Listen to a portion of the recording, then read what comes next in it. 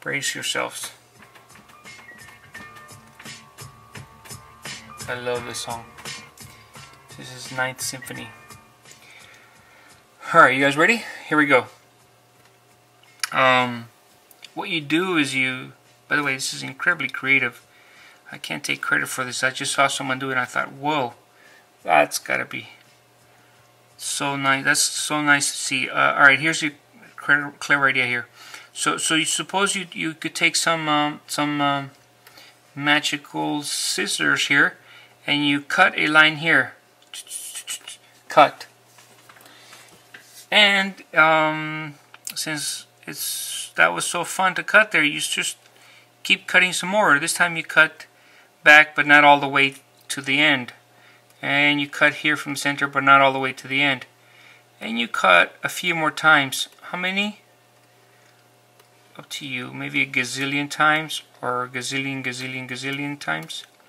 Anyways, you cut a whole bunch of them, and, and the, the caveat here is that only one of them none of these go all the way to the end except for the very first one that you did.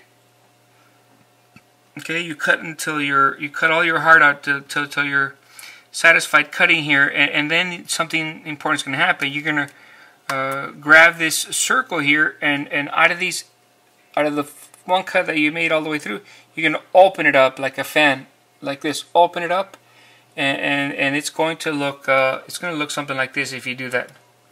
It's going to look like that. Um, Okay, again, here's here's how you cut it. Cut it in there.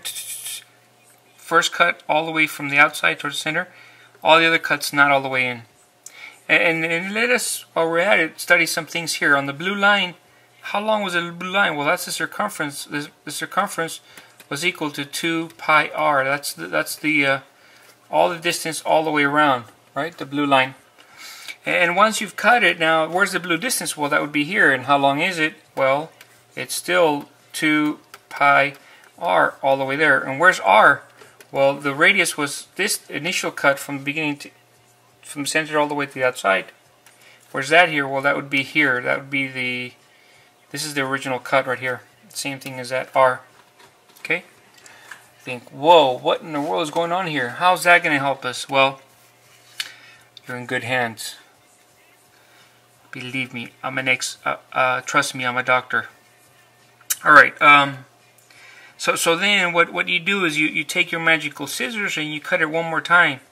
This time we're gonna cut right around here, right around the middle, wherever the middle is. We'll take our scissors here and cut and separate this into two pieces. Okay. Now just imagine what would happen. You cut that and separate it into two pieces.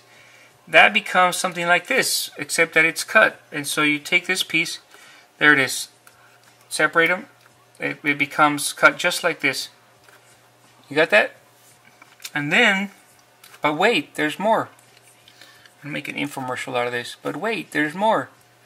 Um, you could take this one right here, and all we do is, uh, let's see, right click on it, and then transform it. Let's flip it horizontally. No, no, no, no, no. Let's flip it vertically. What the hell? F flip it vertically. Yeah, there you go. And then, uh, then let's flip it horizontally. Let's just flip it all day for fun. All right, uh, uh, and then what you do is you, you think this guy has a whole bunch of holes in it because we opened it up and it left a whole bunch of holes. But we're going to take this one now and make it fit the holes. This one's going to fit right on top of that one. And they're going to fill, one will fill the holes of the other. And they will be exactly solid now. Um, and, and then let, let's think about that. The original one was 2 pi r. When I cut it in half, now each each section will be, uh, this will be um, uh, pi r long from here to here. That's half of it. And from here to here will also be pi r. Right? Stop me if I'm lying. Pi r and pi r.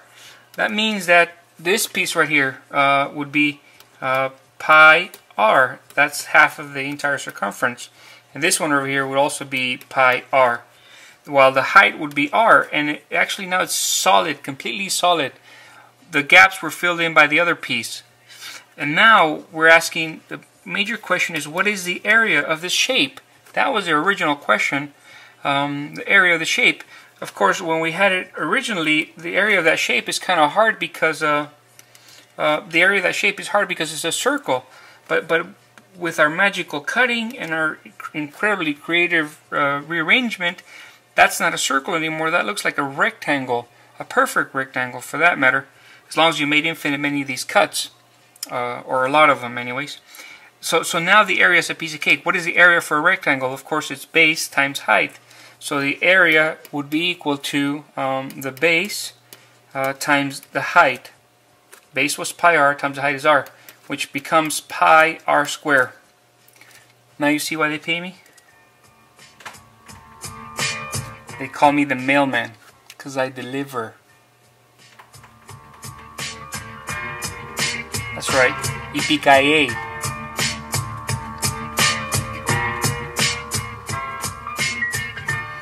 that's, my friends, that's why the world famous uh, formula for, for a circle, the world famous formula for a circle, if you have radius r, uh, the area is equal to pi r square. Okay? You can take that one to the bank. Now let's go back to our, our little problem here. Um, back when we were trying to do this, um, uh, suppose that you know you, we were trying to measure it uh, we were trying to actually measure how many of these fit in there, how many of these squares, and, and, now we have exactly the technology that we need. This was radius 4, if I remember correctly, so we can actually calculate it. The area for that would be uh, pi times r squared, which would, if the radius is 4, it would be 4 squared, so it would be um, approximately 3.14 times 16, whatever that may turn out to be. And and, and that this this was my friends is a professional way to to to find areas um, of a circle. Okay? Then now um, what you want to do now is just practice a whole bunch of areas. Um, but uh, that takes away from the climax my favorite proof here.